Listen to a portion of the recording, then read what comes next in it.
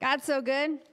I was just reminded um, this morning, um, we, were, we were praying in the back and just talking about miracles and healing and, um, and the importance of telling somebody. I shared that last Sunday um, when I was speaking about tithing of when, when something happens to you, um, something good, and you can give that testimony to somebody else, right? So God does something in your life and sharing about it because it encourages other people, it edifies God, it gives glory to God.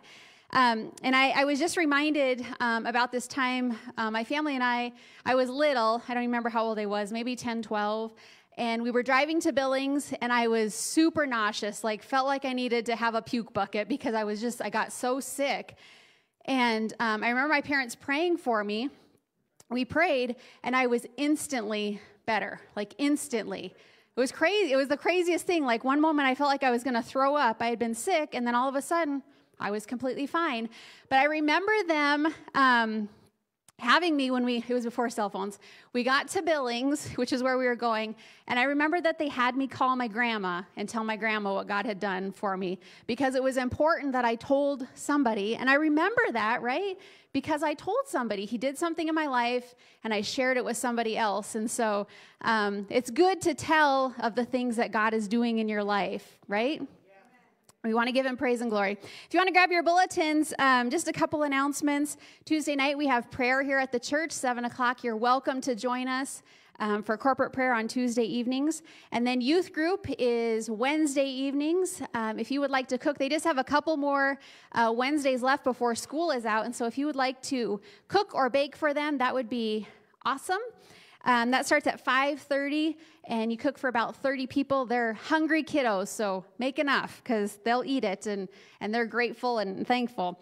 Uh, summer camps, um, it's already May. It's crazy. Um, wild times. The year's just speeding on. But um, summer camps, um, they're listed there. Family camp is for all ages.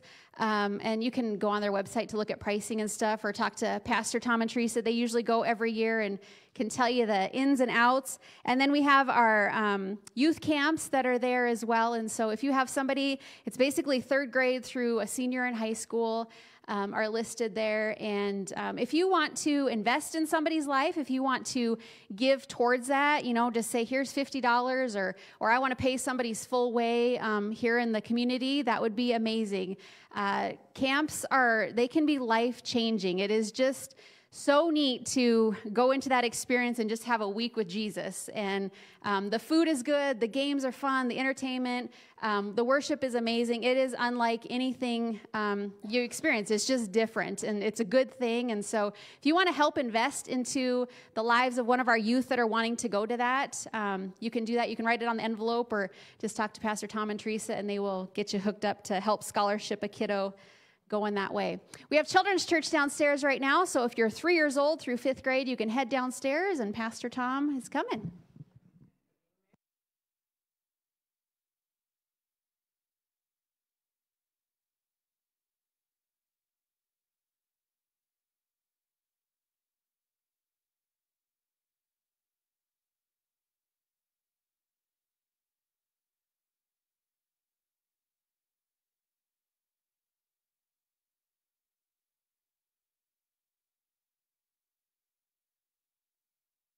We want to make sure the volume is up to where it needs to be for Facebook.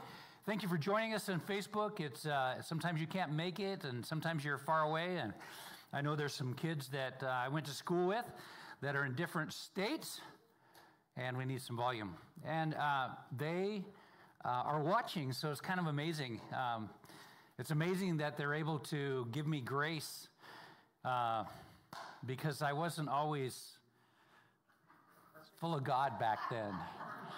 And so, um, very gracious, and they've seen how God has changed our lives. Amen? And, uh, and so it's amazing what God can do if we allow Him to work in our lives. And, uh, and I'm a testimony of that. And so we just thank Jesus for the life changing, um, what He wants us to be like, and the per- very plans and purposes that He has for us and had for us uh, from the very beginning, but we have chosen to sometimes go a different direction. Today, we're going to talk about being led by the Word, and uh, I just believe that the Lord is really wanting us to hear what he is saying. Uh, not that it wasn't important last week or the week before, but I just really sense that um, somewhat of an urgency, somewhat of a um, this is serious type thing. You know what I mean? Uh, it, it's just amazing the things that God is showing uh, His people and leading His people into. And so uh, we are by, led by the Word. Praise the Lord. Let's pray. Father, in the name of Jesus, we thank you for life in you. We thank you that you've given us life. We thank you that you've redeemed us and you've pulled us out of the miry clay. Lord, whatever age that may be, Lord, we were in the miry clay. We were destined, Lord God, to uh, a place where it was distant from you. And Lord, whether it be relationship, whether it be whatever, Lord, but Father, Lord, you have redeemed us out of that dark place. You've taken us from the darkness into the light. And so we thank you, Jesus, for bringing us into that place of light. And Lord, I just ask that even as we speak today, that there would be an anointing upon your word today. And the word would go forth and it would land on good ground. And, and Lord, even as it's spitting rain and raining outside, Lord God, I pray that the, the word that is spoken is also watered and, and um, brings forth fruit in the mighty and precious name of Jesus. And everybody said, Amen.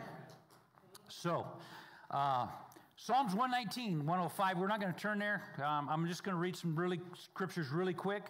They'll be on your board. Just write them down as a reference. I got some a lot of scriptures at the end. I just believe that the Lord just wants me to read scripture at the end, so I don't want to take up all the time just looking for things. So Psalm 119, 105 says this, being led by the word, Thy word is a lamp to my feet and a light to my path. Today, we want to address the fallacy of our confidence in ourselves. In other words, our confidence in my flesh, my confidence in my soulish man. So, when we start talking about um, the Word of God, the Word of God wants to work through the spirit of the man. And so, when we give our life to the Lord, our spirit was in darkness, and the spirit that um, the breath of God that comes through the Holy Spirit, because of Jesus, our spirit man is come, uh, comes alive, and we become into a relationship with Jesus Christ, with our Father, okay? So, with that, we cannot do it on ourselves. And I, I, can't say this enough is that you're not a good enough person, you, you're not smart enough. You can't do it because it's all by the Spirit, and it's a spirit. We are spirit being, beings. And so um, we have a three part being. We do have our flesh, we do have our mind, will, and emotions, but we also have to address and walk in the Spirit, which the Spirit will lead the soulish man and lead the flesh. And so this is where we're headed today. So Proverbs 14, 12, there is a way that seems right to a man, but its end is the way of death. Lord, I just pray that people would have ears to hear today what the Spirit of the Lord is saying. We must not live on yesterday's manna. The Lord has commanded us and wants to give us fresh manna every day. Now, we can turn this into a religious act. We can um, uh, read the Bible daily and not get a thing out of it, per se, okay? But it's a matter of the heart. It's a matter of wanting to do and walking in the ways of the Lord. And I, I said this earlier in, uh, a couple weeks ago is that, you know, as a pastor, you would think, well, he reads his word every day. No, I don't read the word every day, okay? There are times when I do skip, okay? And it's, it's not an excuse, it's not whatever, but, but the word of God is always in me, right?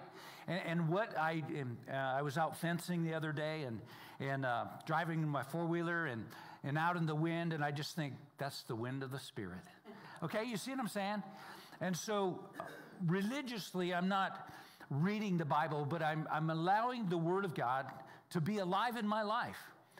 Uh, I'm allowing the Word of God, and here's the thing, and I said that this morning, is the Word of God will change your thinking. If you have wrong thoughts, I'm telling you what, if you have trouble with your psychological part of you, psychic, okay, read the Word of God. First of all, give your heart to the Lord so that you can start understanding this stuff. But the second thing is read the Word of God, it'll change the way you think. depression comes out of wrong thinking, depression comes out of lies.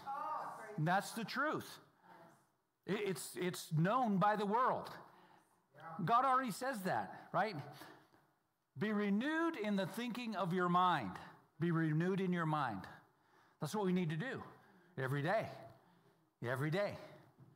Okay. Um, so the Lord wants us to have fresh manna.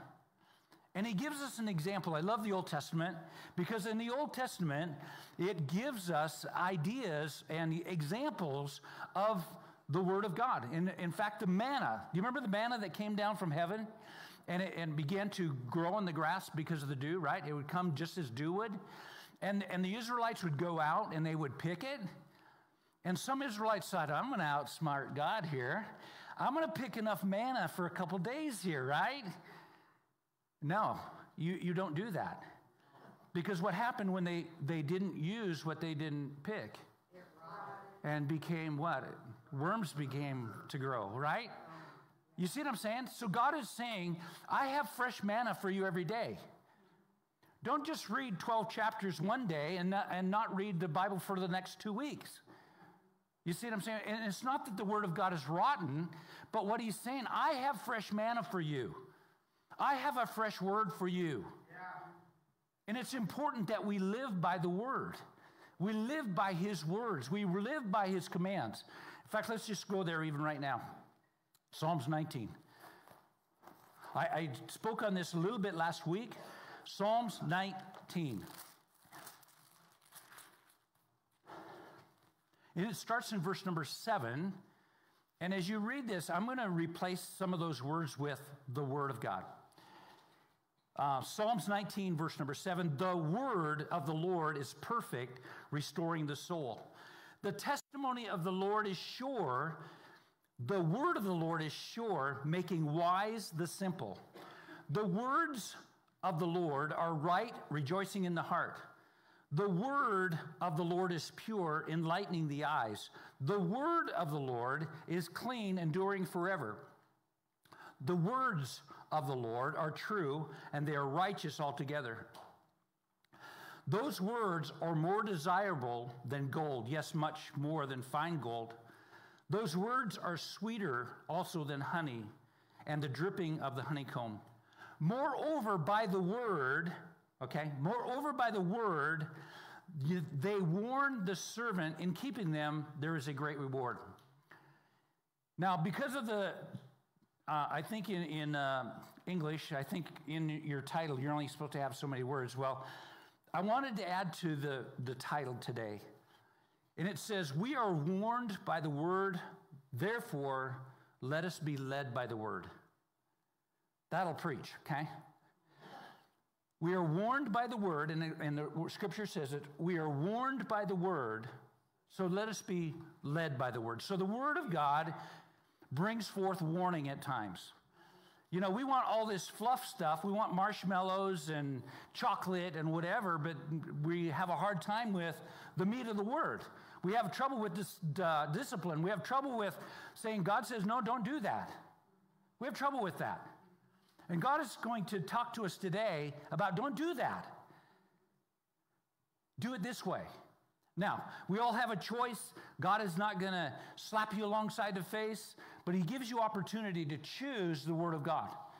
And we choose the Word of God because it's the bread of life. It's how I sustain, it's how I live life, it's how you live life.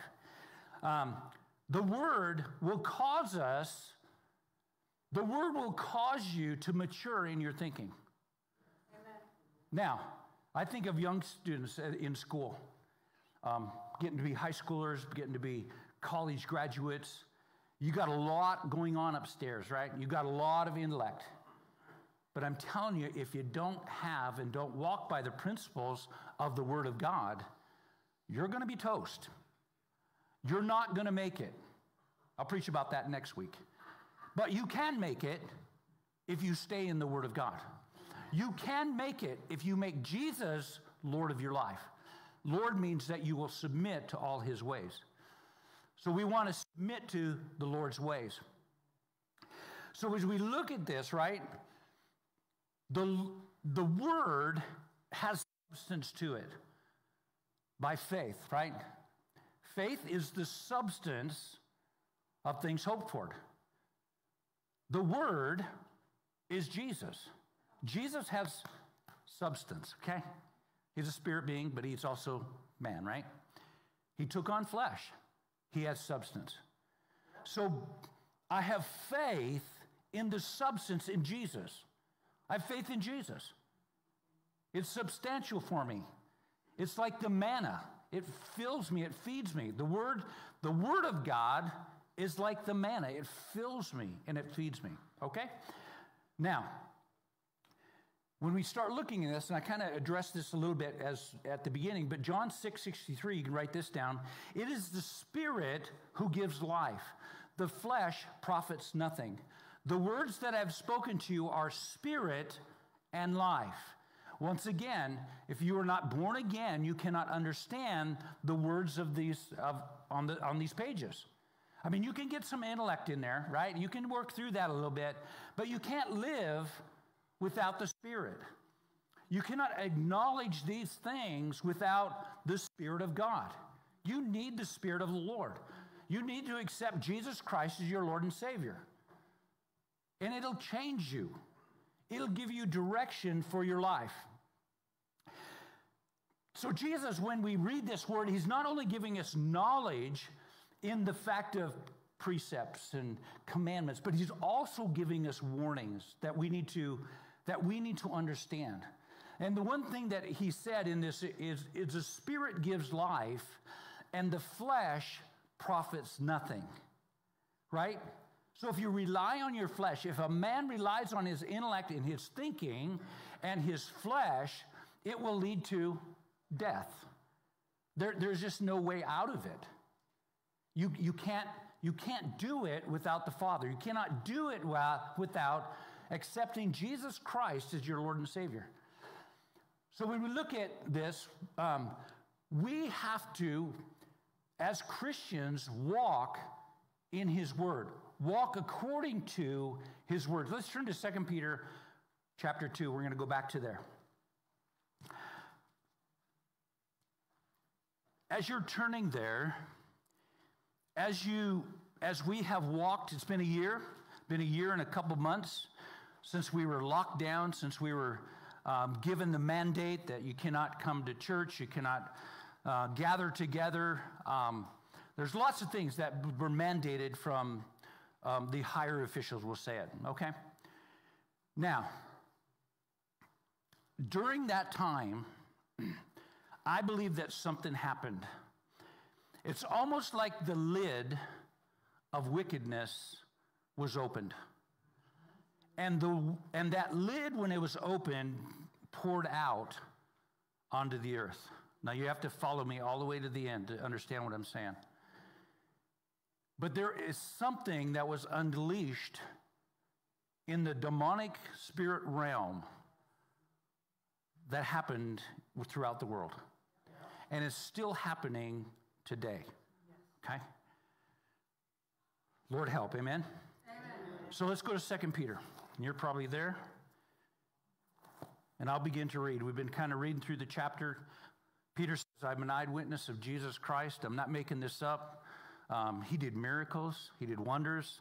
I saw him on the cross, I saw him dead. I saw him them taking maybe taking him to the to the burial ground. I saw him put the stone there. I saw him rise, rise again. Jesus, uh, Peter becomes an eyewitness of this Jesus who is resurrected. Okay, so he's trying to convince you and I. Man, I've, I've seen all this. Peter, Paul, Paul wasn't necessarily there, but John was there. Matthew, Mark, they were there. And they're going, I saw this.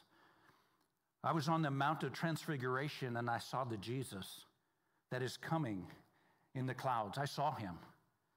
They were predicting the coming of Jesus Christ and what Jesus would look like. Read it in uh, Revelations. John writes about it. Second Peter. And you, uh, uh, what's so funny? We think we're invincible. We think, well, that's, that was them. That was back then. That happens over there. That doesn't happen here. Liar, liar, pants on fire, okay? It happens here and it's happening here, okay? Don't put your eyes, don't cover your eyes, don't put your head in the sand, but understand what the Spirit of the Lord is saying. Things are happening. Even in the last 10 years, things have happened and changed dramatically. In the last year, we've seen it almost quadruple in things happening, okay? Like I said, it's almost like the lid was pulled off and tipped over, coming out. The wickedness that's in the world. False prophets also will arise among the people, just as there will also be false teachers. Now, you and I, let's not look at false teachers and false prophets as someone standing behind a pulpit preaching. They're not always disguised that way. Okay? Anybody hearing what I'm saying? Yes. The Lord says there's wolves in sheep's clothing all over. Okay? So don't just think, well, I'll just watch that one or I won't watch that one and I've got this figured out. You're being deceived, okay? Because here it says this there will be also false teachers among you who will do what? What happened to the word? Uh, who will be secretly, and they will secretly introduce destructive heresies, even denying Jesus, the Master, who brought them, bringing swift destruction upon themselves. Verse number two. And many will follow their sensuality, their own sensuality, and because of them, the way of truth will be maligned. The way of truth, the word maligned means that, that you will blaspheme the ways of the Lord. You will reject what God has commanded for you and I as individuals.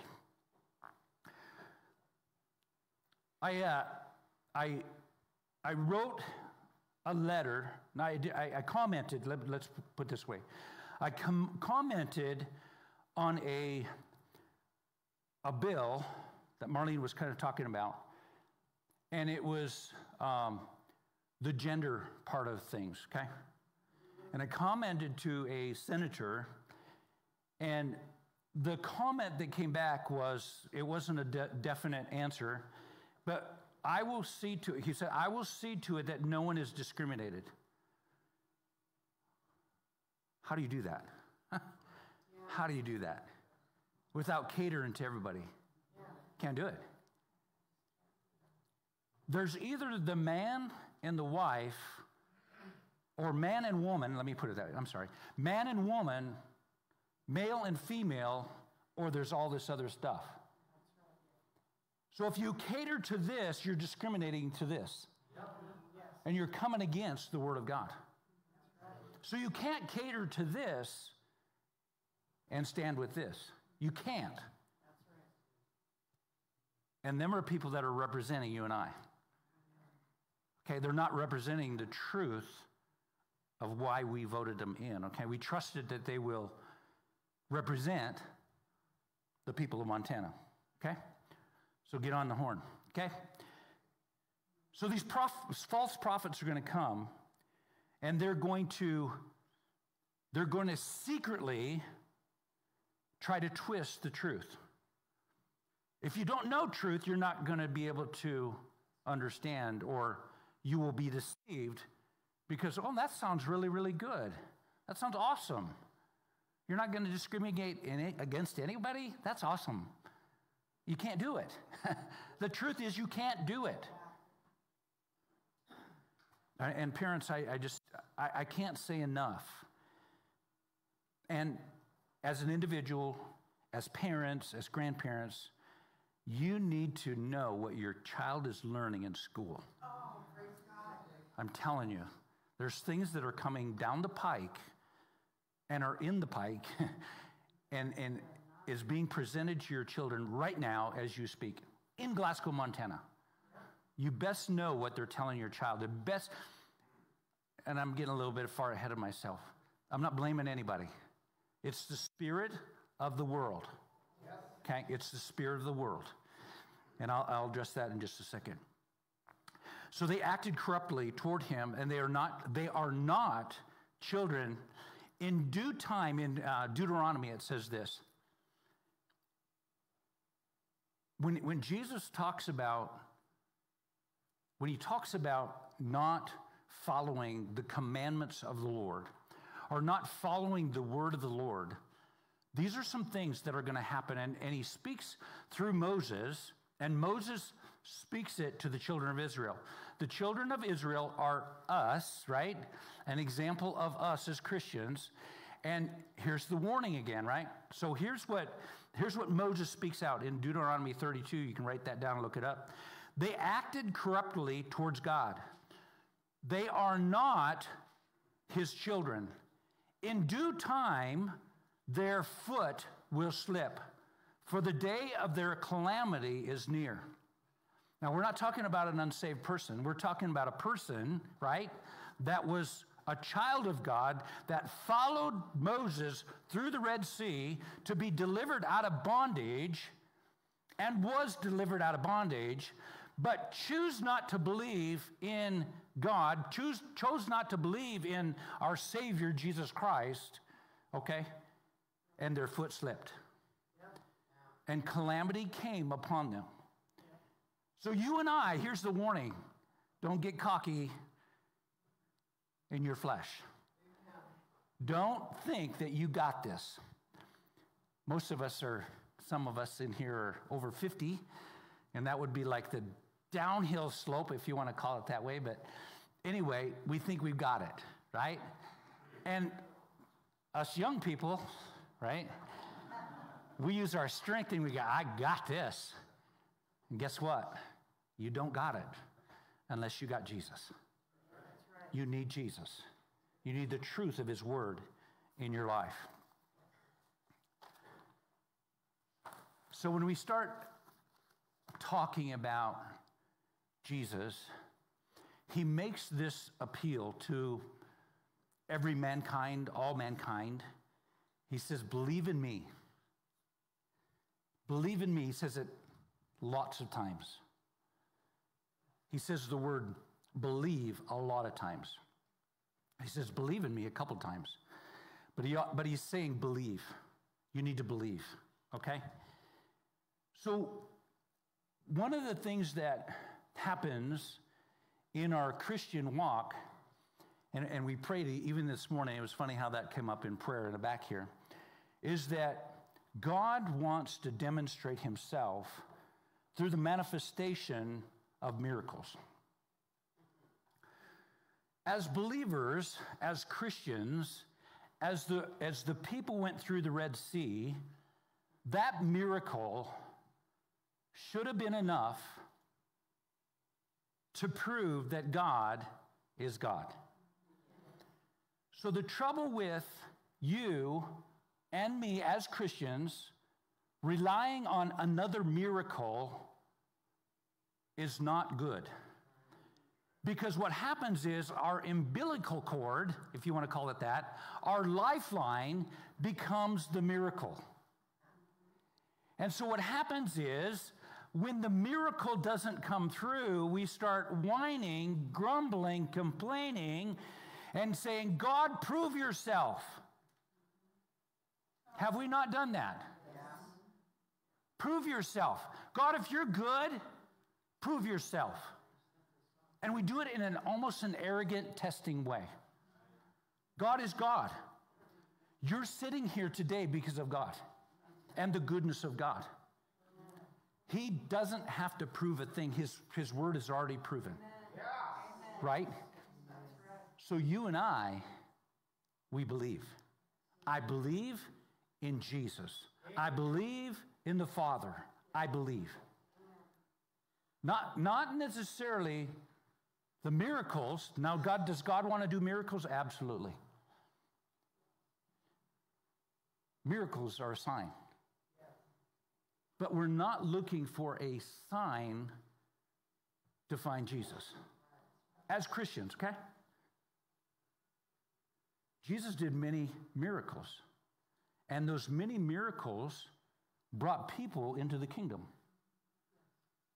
But we find ourselves we find ourselves looking for the miracle rather than and you have to be careful. So so when I say that, even as we prayed this morning, God, let there be miracles, signs, and wonders happening in our midst. What happens is, is that as a Christian, as we're sitting here, and we go through something that's maybe difficult, we flip out and freak out and do all kinds of weird things, and people look at you and go, Dude, what is wrong with you? I thought Jesus was your rock. I thought Jesus was the, the house uh, or the rock that you built your house on. You're not, you're not showing that to me. You're just like us. You're like crumbling. Because what happened is your, your confidence becomes in this. God, just do another thing for me. He's already done enough. He sent his son Jesus. That's all, I mean, he fulfilled everything. Jesus fulfilled everything. So my thirsting and my hungering is for him.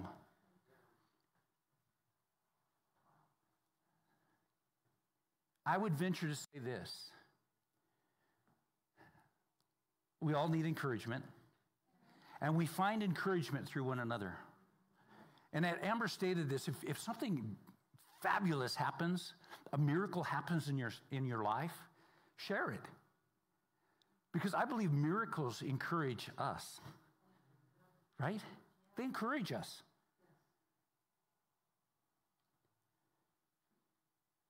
But we're not looking to Jesus just for the miracle. We're looking to Jesus and miracles will come. I'd venture to say this that when you're looking for a miracle, you're looking for a sensual fulfillment. You're looking for something to please your flesh or maybe take care of your emotions, whatever it may be, rather than being solid in Him. If you can't believe Him here, you will not believe Him over here. Jesus says, Believe me for who I am. Great, ungrateful person. Ever, anybody ever been around an ungrateful person? Anybody ever been that ungrateful person? Okay? Ungrateful. I mean, just absolutely ungrateful.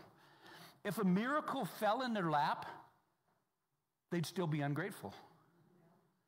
So when a sign comes, they still won't believe. I mean, it's that attitude that we have. If you're ungrateful, you won't be grateful in this, even if it fell in your lap. Even if God changed the circumstances, you'd still be ungrateful. A change of heart is what we need a change of heart, change of attitude, change of thinking. The Word of God will change that for you.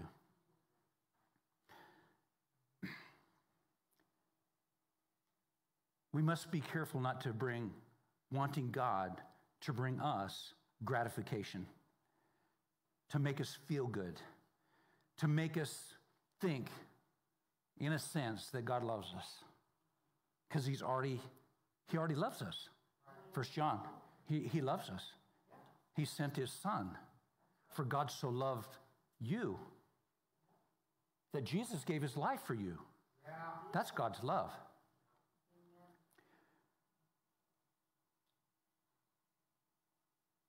So we, we must be careful and we must mature in the process of tribulation, suffering, and those type of things. And not be ready to bail, not be ready to give up, not be re- because God is faithful.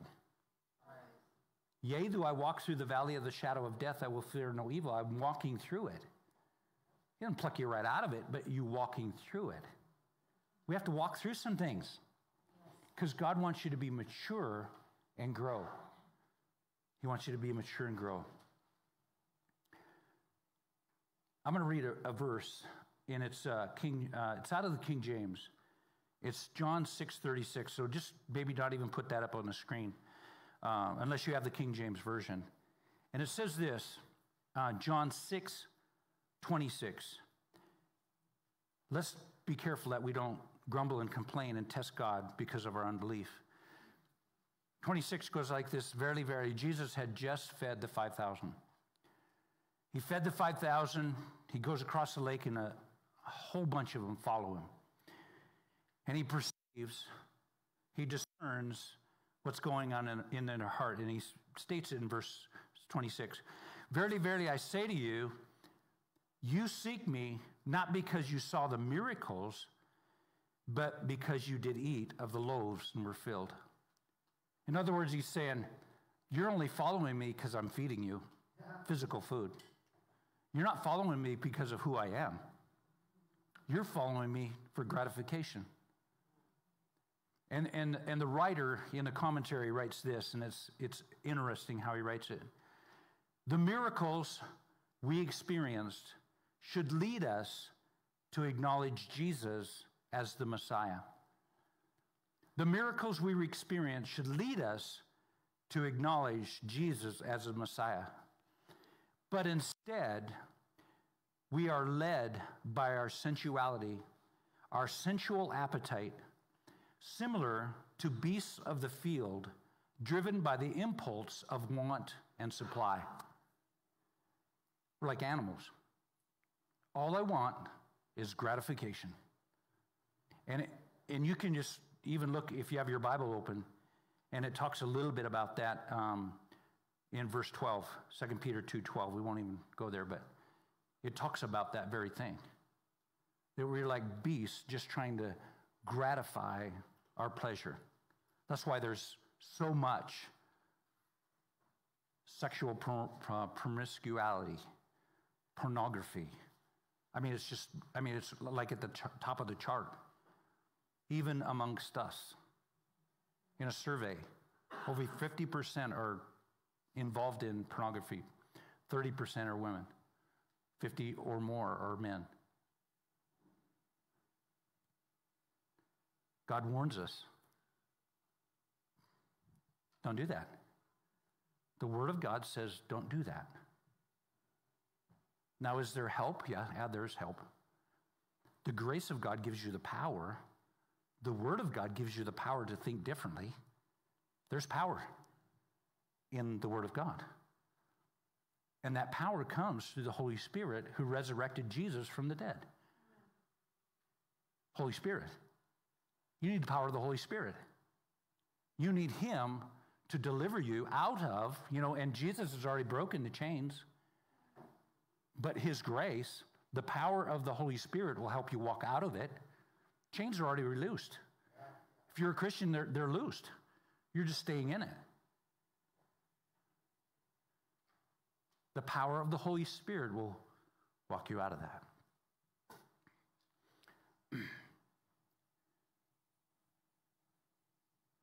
Let's read uh, 2 Peter 2, verse number 9. Actually, 2. I'm going to start in 2. And many will follow their sensuality, and because of them, the ways of truth will be maligned.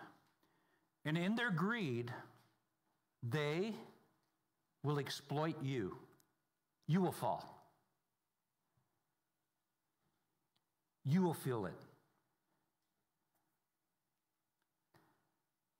I should not comment every, because I lose my place.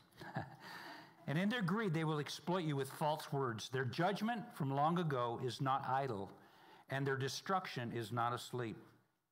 Same thing that was happening back in Israelites' time when they came out is happening now. It has not fell asleep, it's still there. For if God did not spare angels when, this, when they sinned, but cast them into hell and committed them to pits of darkness reserved for judgment, and they did not spare the ancient world, but preserved Noah, a preacher of righteousness, with seven others, when he brought a flood upon the world of the ungodly. How many do you suspect would say was in the land at the time of Noah? I don't know this answer, but you can figure it, make a number. Could be million, could be 500,000, could be 6 million, could be whatever right? It says All of them were ungodly. How can that be? But they were. How many did Jesus save, or God save? Seven. Eight with Noah. All of them perished. So to think that I can do all this stuff and still get in my the skin of my teeth, you're being deceived. You're believing a lie. Yes, there's the blood of Jesus. Yes, there's grace. Yes, there's mercy. But there's a point in this walk that you have to walk and you have to make choices according to the Word of God. Otherwise, you will slip and fall. Jesus is warning us. The Word is warning us. Here's a warning. We, we see, we see the wickedness being poured out. We see it. We experience it. And yet we're just going around like la di da. Not going to get me. It will. Honestly, it will get you. If you don't follow the commands of the Lord. So, what the Lord is saying, quit peddling in stuff that's not right. Quit playing with witchcraft. Quit playing with those things which are demonic. Thinking that you can overcome it, thinking that you can quit at any time. You can't unless you repent and walk in the grace of God. We always think of the prodigal son. And, and, yes, the prodigal son came back. He did come back. He came back. But there's several scriptures that say once you've departed, you can't come back. it's your heart. What's your heart like? Is your heart hardened towards the things of God? Are, are, are, you, are you willing to uh, call Jesus Lord of your life? Are you willing to forsake this for Him? I love the part where He says, if you can't lay down your life, if you can't hate mother, brother, sister, then you can't serve me. And he's not asking you to do that in a, in a sense, but he's asking you to do that.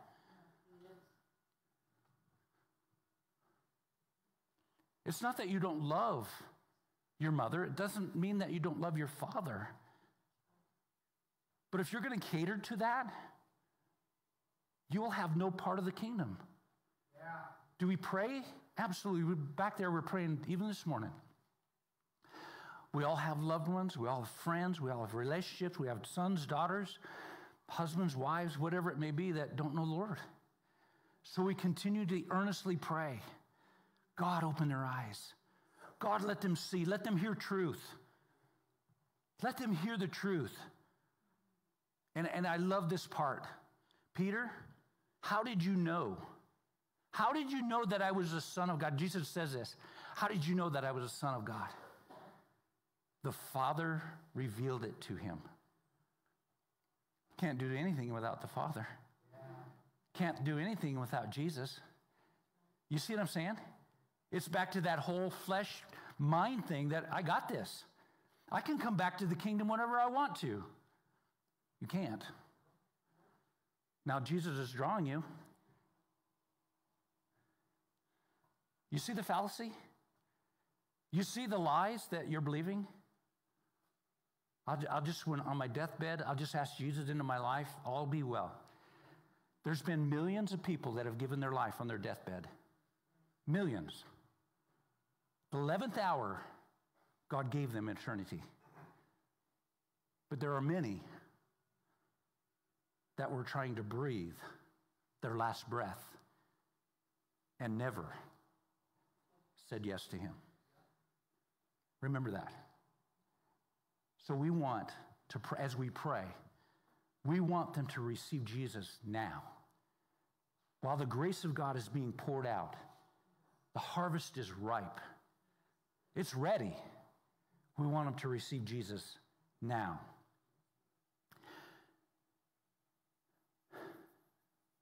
How far did I get? I don't remember.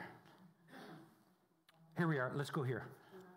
He did not spare any of the ungodly. In verse number six, if he condemned the cities of Sodom and Gomorrah to destruction by reducing them to ashes, having made them an example to those who would live ungodly thereafter. If he rescued righteous Lot oppressed by the sensual conduct of unprincipled men. For by what he saw and heard, that righteous man, while living among them, felt his righteous soul tormented day after day with their lawless deeds. I'm going, Lot, why did you stay there? Because his family was there. He was trying to turn people, okay? Verse number nine then the Lord knows how to rescue the godly from temptation and to keep the un- unrighteous under punishment for the day of judgment. I want us to turn to 1 Corinthians, and this will be my last scripture.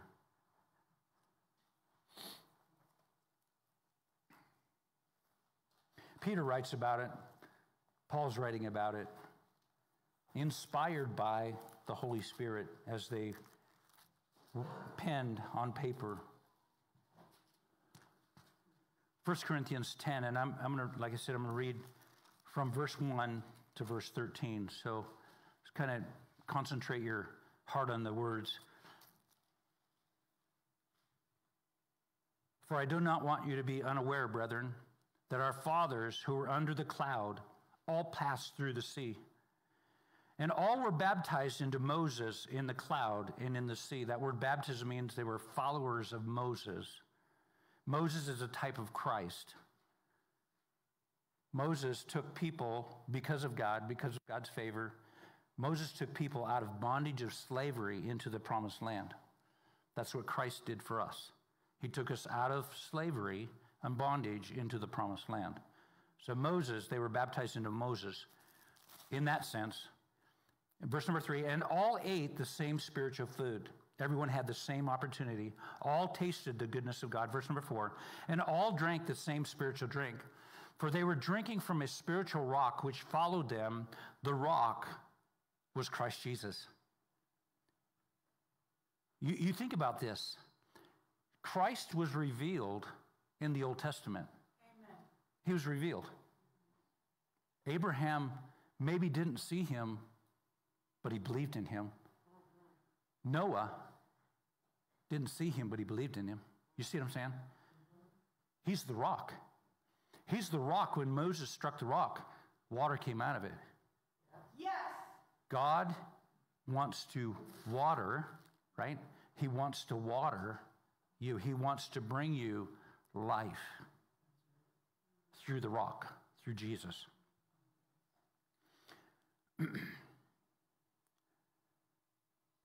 Now, these things, verse number six, now these things, number, verse number five, nevertheless, with most of them, God was not well pleased, for they were laid low in the wilderness. Verse number six, now these things happened as an example for us. These are examples that we should not crave evil things as they also craved evil things. And do not be idolaters as some of them were, as it is written, the people sat down to eat and drank and stood up to play. Nor let us act immorally as some of them did. 23,000 fell on one day. Nor let us try the Lord as some of them did and were destroyed by the serpents. Nor should we grumble as some of them did and were destroyed by the destroyer. Now, these things happened for our example and they were written for our instruction. I want you to say this instruction, instruction. They were written for our instruction, upon whom the ends of the age have come. Verse number 12 Therefore, let him who thinks he stands take heed lest he fall. Talking right into the person that thinks he's somebody and he's not without Christ Jesus. You're on sinking sand if you don't have Christ. You're on sinking sand if, if the word is not part of your life.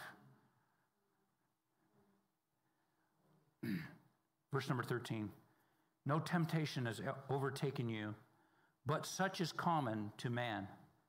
And God is faithful, who will not allow you to be tempted beyond what you are able, but with temptation will provide the way of escape also that you may be able to endure it. That means you're going to walk through this. That, that means you can walk through this. That means that there's going to be temptations. That means that you can overcome the temptations. That means you, you're not going to fall if you put your hand in His hand.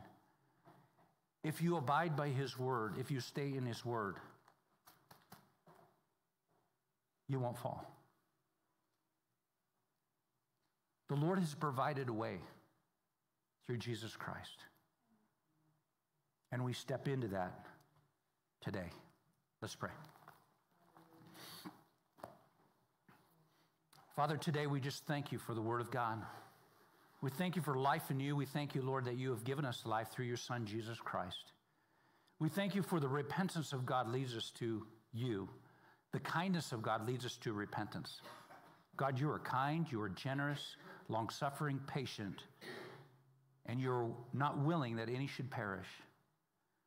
And Lord, if there's anyone here that's playing the game, that's coming along for the ride, and they're blinded, their heart is not right towards you, I pray that they would make their heart right with you today. God is giving opportunity even today that your life would turn around and come towards Him. And Lord, I thank you for that opportunity today to accept you as Lord and Savior, to walk in truth, to walk in light. The way that you designed from the very beginning to have relationship with you and to be able to spend eternity with our Creator, the Father, the King of Kings and Lord of Lords. We love you and praise you, Lord, for your goodness and your greatness. In the mighty and precious name of Jesus. Everybody said, Amen. Amen. Amen.